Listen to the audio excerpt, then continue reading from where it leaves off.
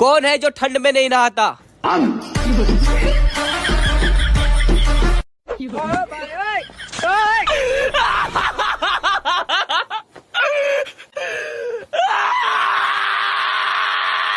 रुको जरा सबर करो।